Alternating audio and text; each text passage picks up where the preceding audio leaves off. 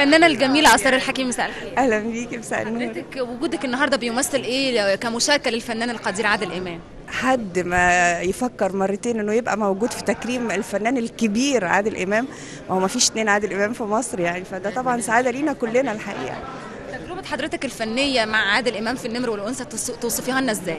والله هما كانوا تجربتين. أول تجربة في بدايات مشوارنا إحنا الاثنين آه بس ده مش معناه إن إحنا لسه شباب برضو إحنا لسه شباب يعني. فكان في قاتل ما قتلش حد وبعدين التانية كانت نمر والأنثى.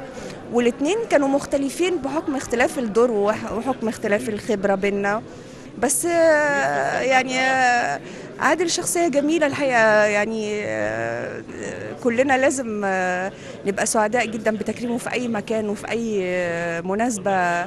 كأنه تكريم لينا كلنا طبعا يعني. لو لخصنا عادل إمام الإنسان والفنان في جملة نقول إيه؟ زعيم.